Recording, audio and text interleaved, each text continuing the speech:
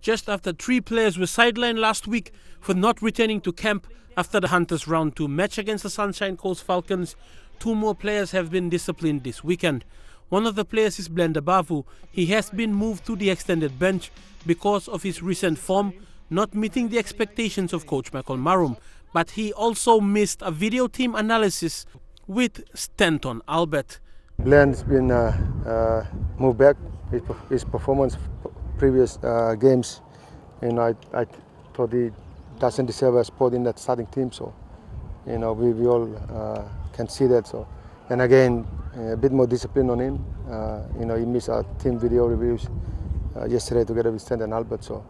A disappointed Michael Marum expected better from the two senior players after Marum gave a 30 minutes pep talk last week when Joe Joshua, Mackenzie Yei, and Junior Rope didn't return to camp after the Falcons game. Marum stressed to the team the club's code of conduct. Obviously, that wasn't adhered to by the two players. Uh, when I was explaining it, they, they understood where uh, we were coming from. So last weekend we sidelined three players because of the uh, similar incidents, uh, players missing, uh, you know, important sessions there. So, you know, but hopefully he can, you know, sit out and, you know, work better on his game, uh, review his past performances and get back stronger, yeah.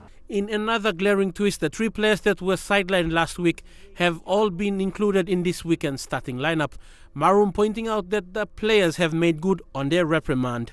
Yeah, uh, he's back in. Uh, went missing for a couple of days, but yeah, now he, he's trained well while we, the team was away. You know, they did four sessions uh, all throughout the past two days when we were down in Brisbane last weekend. So, you know, reports from the uh, staff that uh, with them behind was really good. So, you know, that's including uh, Mackenzie and uh, Junior. Yeah. Fidelis Sukina, National, EMTV Sports.